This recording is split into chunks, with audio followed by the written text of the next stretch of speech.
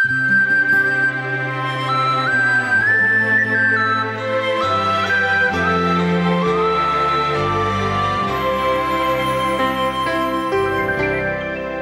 अपने अध्ययन को उन दो व्यक्तियों से आरंभ करते हैं जो यीशु का अनुसरण करने के लिए अनुमति मांगते हैं, जैसे कि यीशु उस पार जाने की तैयारी करते हैं। एक मनुष्य उसके पास आता है, जिसे हम मतिर समाचार उसके आठ अध्याय के उन्नीस पद में पढ़ते हैं। और किसी शास्त्री ने आकर उससे कहा, गुरु, जहाँ कहीं तू जाएगा, मैं तेरे पीछे चलूँगा। मित्रों, संभवतः यह शास्त्री जवान व्यक्ति रहा होगा, क्योंकि एक बुज़ुर्ग व्यक्ति इस तरीके से व्यवहार नहीं करेगा। यह शास्त्री भी उस भीड़ में था और निर्णय के साथ खिलवाड़ कर रहा था कि उसका अनुसरण करें या अनुसरण ना करें। वह नहीं जानता था कि क्या करना चाहिए। तब उसने देखा कि यीशु दूसरी तरफ़ जाने की तैयारी कर रहे हैं। प्रभु और उसके शिष्य नाव की ओर बढ़ रहे हैं और उससे अपने मस्तिष्क में जल्दी निर्णय लेना था। इसलिए वह भीड़ से बाहर निकल कर आया और स्पष्ट रूप से प्रभु के सामने गिर कर कहा, जहाँ कहीं भी तू जाएगा, मैं तेरे पीछे चलूँगा। शास्त्री ने अपना निर्णय ले लिया। प्रभु ने उसकी ओर देखा और उससे खुलकर और सरलता से कहा जिसे हम मतिर सुसमाचार आठ अध्याय के बीस पद में पढ़ते हैं। यीशु ने उससे कहा, लोमड़ियों की मांदे और आकाश के पक्षियों के घोंसले होते हैं, परंतु मनुष्य के पुत्र के लिए सिर रखने को भी कहीं स्थान नहीं है। इस प्रभाव में यीशु मसीह इस जवान से कह रहे थे, क्या तुमने इसकी कीमत को जोड़ा या देखा है? हमारा प्रभु अपनी गरीबी को प्रकट कर रहे हैं। जब वे इस पृथ्वी पर थे तब जवान व्यक्ति ने अपने हृदय को खोला तो हमारे प्रभु भी अपना हृदय खोलते हैं। मैं सोचता हूँ कि उसने कुछ इस तरह कहा होगा, मेरा अनुसरण करने के लिए तुम्हें कुछ कीमत चुकानी पड़ेगी। जब तक हम एक स्थान में जाते हैं तो हमारे लिए कोई भी होटल या सराय में ठहरने का बंदोबस्त नहीं रहता है। यहाँ तक कि हमारे पास रहने के लिए भी जगह नहीं होती है। लोमड़ियों की मांदे और आकाश के पक्षियों को घोंसले होते हैं। परंतु मनुष्य के पुत्र के लिए सिर रखने को भी कहीं स्थान नहीं है। यह प्रभु यीशु की दरिद्रता है और दरिद्रता श्राप का एक भाग है जिसे उसने सहा। हमें यह नहीं बताया गया है कि इस जवान व्यक्ति ने उसका अनुसरण किया या नहीं। मैं हमेशा महसूस करता हूँ कि उसने किया। मैं सोचता हूँ कि जब नाव को पानी से बाहर खींचा गया तो वहाँ यह जवान व्यक्ति उस नाव में था। जिसने प्रभु के लिए निर्णय लिया।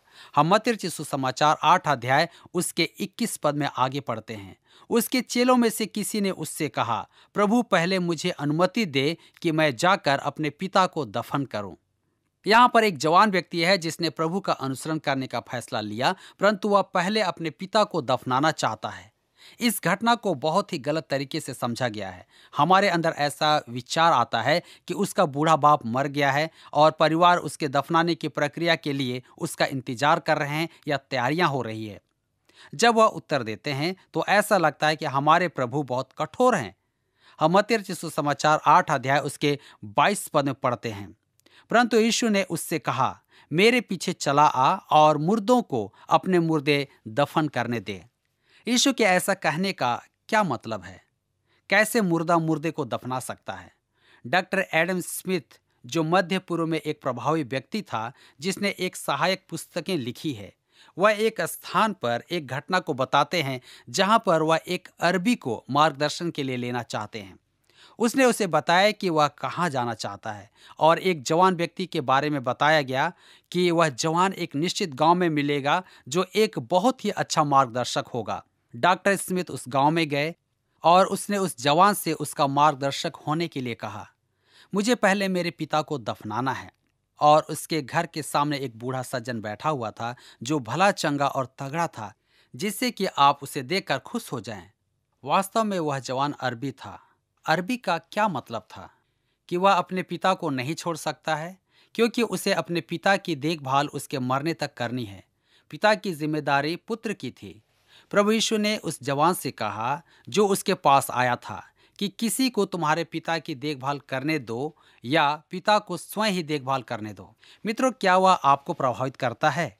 बिना कुछ महसूस किए जब उसने यह कहा, मैं नहीं सोचता कि वह था। यह मेरा मानना है कि हमारा प्रभु इस जवान को एक निर्णय लेने की स्थिति में ला रहे थे। क्या वह मसीह को पहला स्थान देंगे या देने जा रहा है या नहीं? जब उस जवान ने निर्णय लिया तो प्रभु यीशु ने संभवतः उससे कहा होगा, तब तो तुम घर वापस जाओ और अपने पिता की देखभाल करो। कई वर्ष पूर्व एक जवान महिला थी जिसका पिता काफ़ी बूढ़ा था। वह एक प्राचारिका या सेविका बनी और सेवकाई के लिए दूर चली गई और उसने अच्छा काम भी किया। जब वह कई वर्षों के बाद घर लौटी तो उसने अपने पिता को पूर्णतः असहाय पाया। वहाँ पर कोई नहीं था जो उसकी देखभाल करता, और वह बेटी को कोस रहा था कि उसने उसे छोड़ दिया है, और उसे मसीही नहीं बन पाने के लिए भी उसे कोस रहा था। उसके पिता ने मसीह के लिए कभी भी निर्णय नहीं लिया, इसलिए वह घर में रुक गई और उसकी देखभाल कर आराम और संगति देती रही। बूढ़ा व्यक्ति इस सेवा के द्वारा वास्तव में हिल सा गया, और इस समय के दौरान में उसने मसीह के लिए निर्णय लिया। मेरा विश्वास है कि इन सब बातों में प्रभु उस बहन का मार्गदर्शन कर रहे थे। परंतु आरंभ काल में एक समय था जब उसे निर्णय लेना था कि वह सेवा के लिए जाए और मसीह को प्रथम स्थान दे या ना दे।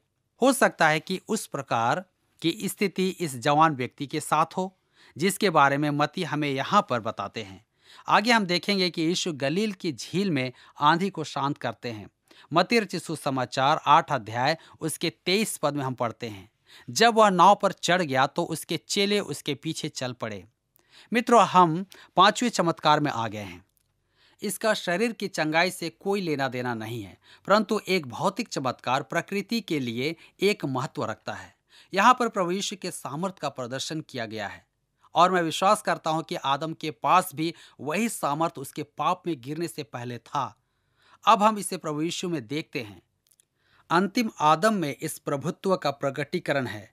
हम मतिर चिशु समाचार आठ अध्याय उसके चौबीस पद में आगे पढ़ते हैं, जहाँ पर लिखा हुआ है, और देखो, समुद्र में एक बड़ी आंधी उठी, जिससे कि नाव लहरों से ढक गई, परंतु वह सो रहा था। मित्रों, यह कोई साधारण तूफ़ान नहीं था। हमने परीक्षा की घड़ी में देखा था कि शैतान थोड़े समय के लिए उसे छोड़कर चला गया था, परंतु ज़्यादा समय के लिए नहीं। मैं सोचता हूँ कि यह तूफ़ान वास्तव में शैतान की ओर से था। यह प्रभु यीशु को नाश करने की एक कोशिश थी। आप ध्यान दीजिए कि हमारे प्रभु सो रहे थे। यह एक बहुत ही मानवीय दृश्य मती हमें देते हैं। यीशु इतना अधिक थक गए थे कि तूफ़ान में भी वे सो रहे थे। यह कुछ और भी प्रकट करता है, वह तूफ़ान में भी सो सकते हैं, जबकि मैं नहीं सो सकता। मैं तूफ़ान के समय में थोड़ा भयभीत होता हूँ और शिष्यों का भी यही हाल था। हम मती उसके आठ अध्याय के पच्चीस पद में आगे पढ़ते हैं, जहाँ पर लिखा है, वे उसके पास आए और उन्होंने यह कहकर उसे जगाया, प्रभु, हमें बचा, हम नाश हुए जाते हैं। उनके पास कितना थोड़ा विश्वास था। आप ध्यान दीजिए कि वह परिस्थिति को कैसे संभालते हैं। मती आठ अध्याय उसके 26 पद में लिखा हुआ है, उसने उनसे कहा, हे अल्प विश्वासियों तुम इतने भयभीत क्यों हो? तब उठकर उसने आंधी और समुद्र को डांटा और पूर्णतः शांति छा गई। हम देखते हैं कि उसने शिष्यों को उनके विश्वास की कमी के कारण डांटा और तत्पश्चात तूफ़ान और समुद्र को डांटा।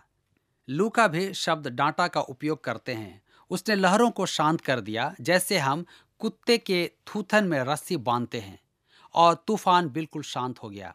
यद्यपि यह सच है कि इस समय इन मनुष्यों ने बहुत थोड़ा विश्वास का प्रदर्शन किया एक दिन आया जब उनके छोटे से जीवन में तूफ़ान का उत्पीड़न टूट पड़ा और मैं कोई भी लेख नहीं पाता जिसमें उनमें से कोई चिल्लाया कि क्या तुझे चिंता नहीं कि हम नाश हुए जाते हैं? इसके अलावे हम प्रेरितों की काम, उसके चार अध्याय, उसके उनतीस पद में पढ़ते हैं कि उन्होंने कहा, अब हे प्रभु, उनकी धमकियों को देख और अपने दासों को यह वरदान दे कि तेरे वचन को पूर्ण निर्भयता से सुनाए। यह उनके लिए महत्वपूर्ण था। ओह, हम कैसे उस प्रकार के साहस और भरोसे को इन दिनों में प्राप्त कर सकते हैं, जिसमें हम रहते हैं? यहाँ पर ध्यान दीजिए कि तूफ़ान को शांत करने के चमत्कार के द्वारा अपने शिष्य के ऊपर एक गहरा प्रभाव डाला है।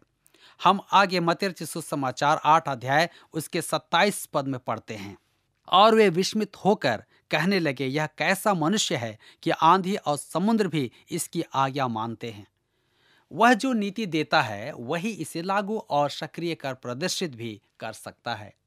आगे हम देखते हैं कि यीशु दो गदरेनियों के अंदर से दुष्ट आत्माओं को निकालते हैं, जो छाटव चमत्कार और आश्चर्यचकित करने वाला है। हम लोग इसके वर्णन में नहीं जाएँगे, परंतु यह दुष्ट आत्मा को निकालने से संबंधित है। हम मत्ती आठ अध्याय उसके 28 पद को पढ़ते हैं। और जब वह दूसरी ओर गदरेनियों के प्रदेश में पहुँचा तो दो मनुष्य जिसमें दुष्ट आत्माएँ थी, कब्रों से निकलकर उससे मिले। वे इतने उग्र थे कि कोई भी उस मार्ग से नहीं निकल सकता था। यहाँ पर हम देखते हैं कि यीशु गदरेनियों के प्रदेश में है, जैसा कि आज भी इसे पुकारा जाता है। जो लोग यहाँ पर रहते थे, वे गाद गोत्र से थे। पुराने नियम में जब इसराइलियों के बीच में ज़मीन का बंटवारा हुआ तो गाद गोत्र यर्दन नदी के गलत क्षेत्र में बस गया। उन्हें क्या हुआ?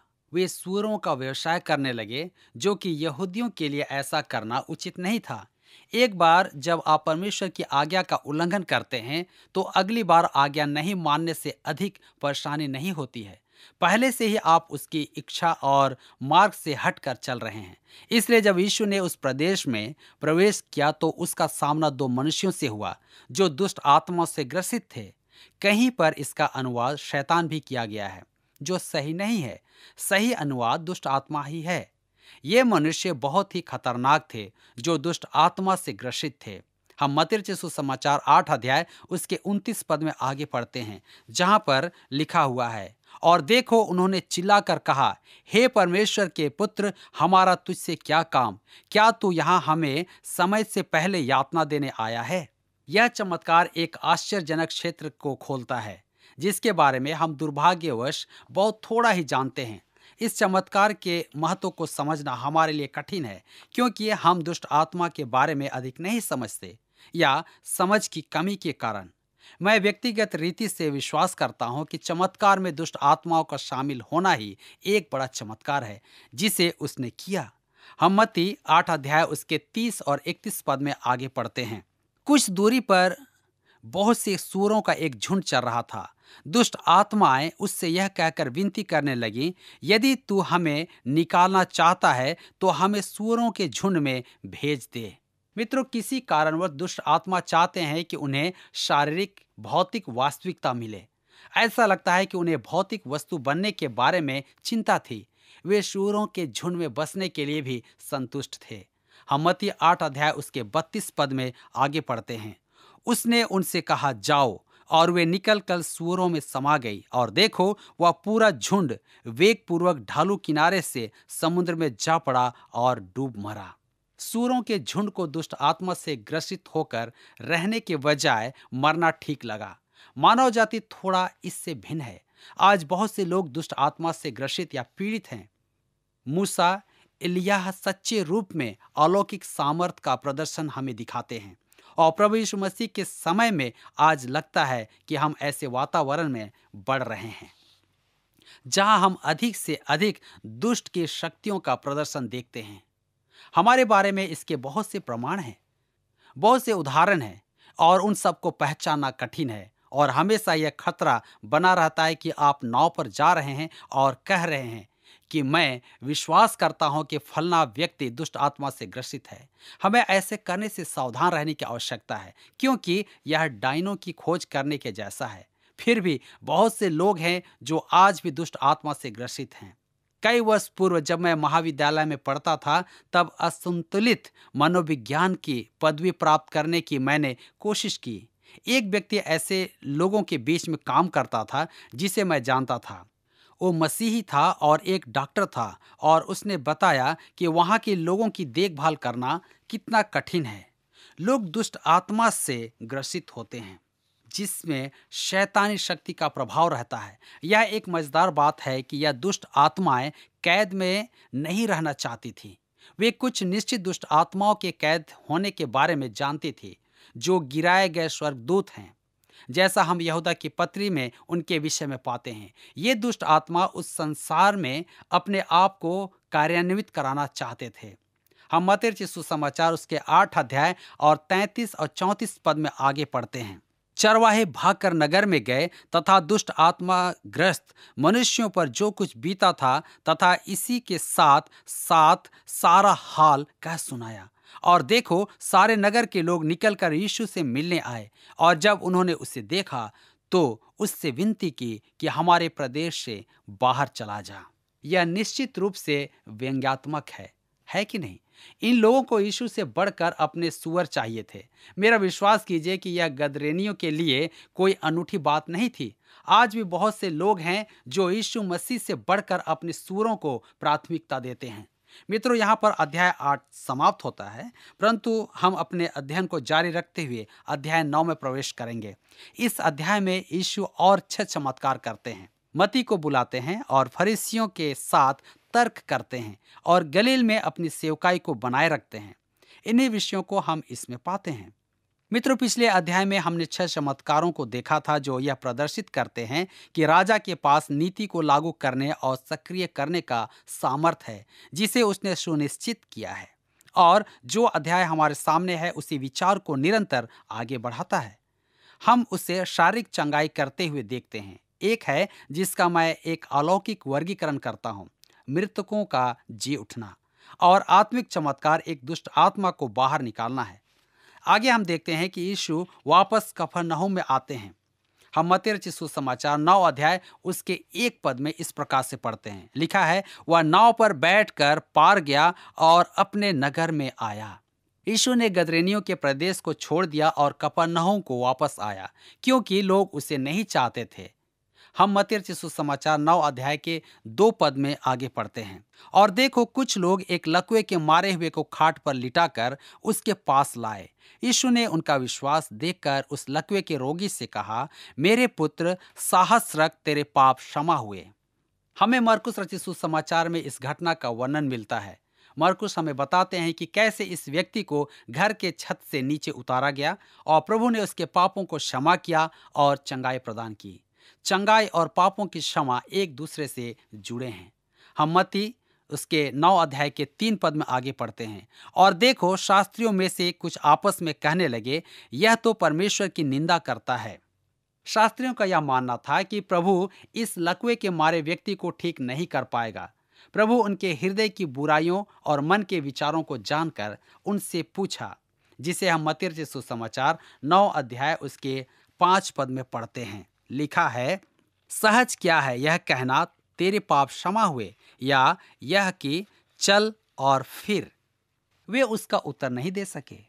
परंतु यदि वे उसका उत्तर देते तो इस प्रकार से कहते, ठीक है, हमारे लिए एक जितना महान है, दूसरा भी उतना ही है। तब हम मत्ती रचि सुसमाचार, नौ अध्याय उसके छह और सात पद में आगे पढ़ते हैं। परंतु इसलिए कि तुम जान जाओ कि मनुष्य के पुत्र को पृथ्वी पर पाप क्षमा करने का अधिकार है।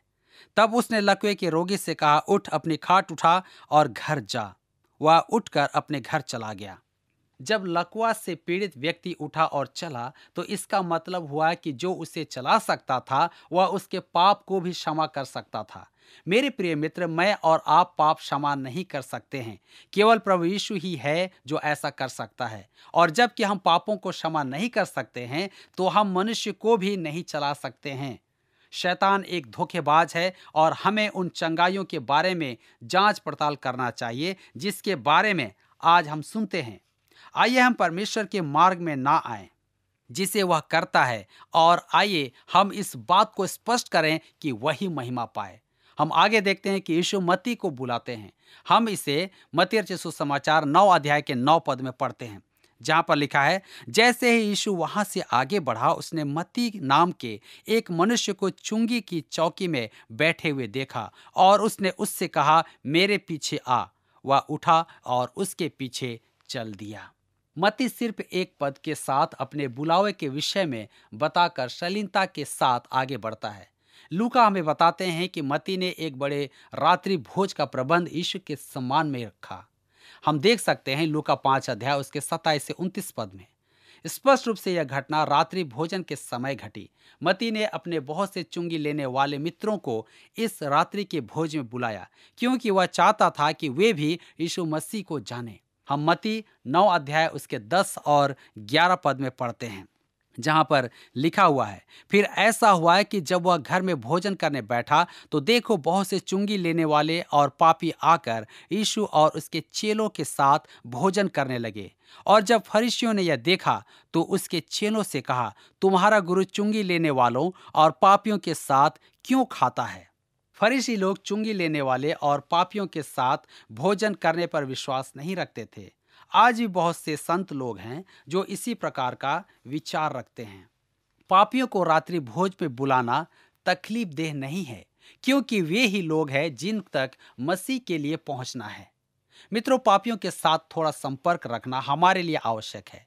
हम मतिर सुसमाचार नौ अध्याय उसके बारह पद में आगे पढ़ते हैं। जहाँ पर लिखा हुआ है, परंतु जब उसने यह सुना तो कहा, भले चंगों को वैद की आवश्यकता नहीं, परंतु बीमारों को होती है। यीशु एक महान वैद हैं। वह मानव जाति को उनकी मूल समस्या अर्थात पाप से चंगाई देने के लिए आए हैं।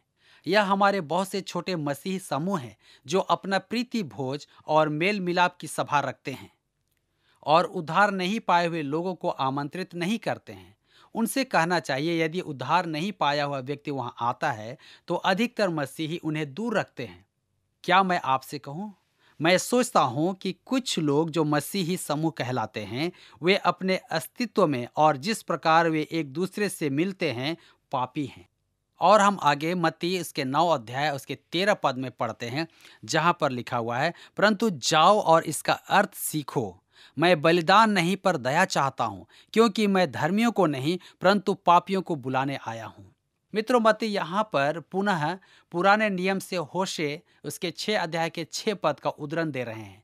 जब यीशु ने कहा, मैं धर्मियों को नहीं, परंतु पापियों को बुलाने आया हूँ, वह फरिशियों को भी शामिल कर सकता था, क्योंकि वे भी पापी थे। वास्तव में हम सब इसमें शामिल हैं। रोमियो के पत्र तीन अध्याय उसके तेईस पद में लिखा हुआ है, इसलिए कि सबने पाप किया है और परमेश्वर की महिमा से रहित हैं। आगे हम पुराने वस्त्र और पुराने मस्कों का दृष्टांत देखते हैं। मतिर सुसमाचार नौ अध्याय उसके चौदह पद में इस प्रकार से लिखा हुआ है, तब योहना के चेले उसके पास आकर कहने लगे, क्या कारण है कि हम और फरिशी तो उपवास करते हैं, परंतु तेरे चेले उपवास नहीं करते? यहुना के शिष्य यीशु मसीह को देख रहे थे, जो भी हो। इन लोगों में से कुछ लोग मूलतः यहुना के ही शिष्य थे। हम अंद्रयास और फिलिप के बारे में जानते हैं कि वे थे। वे यहाँ आए और यीशु मसीह का अनुसरण करने लगे। और यहुना के दूसरे शिष्यों ने कहा, देख, यहाँ पर कुछ हो रहा है। वह जो हम करते हैं, उससे थोड़ा भिन्न है और हम अचंबित होते हैं कि ऐसा क्यों? यहुना जैसे आरंभ में बताया गया, एक पुराने नियम का भविष्यवक्ता था। वह पुराने नियम से नए नियम में घोषणा करने के लिए आया कि मसीह आ गया है। मलाकी ने भविष्यवाणी की थी कि संदेश वाहक यीशु मसीह के लिए मार्ग तैयार करने को आएगा और यहुना ने कहा, मैं जो कुछ कर रहा हूँ, वह प्रभु के लिए मार्ग तैयारी करना है। वह थोड़ी ही देर में हमारे मध्य में होगा। और जैसा यहुना ने कहा था, वह आ गया। अब हमारे प्रभु एक महान सिद्धांत को घोषित करने और सत्य को प्रकट करने जा रहे हैं।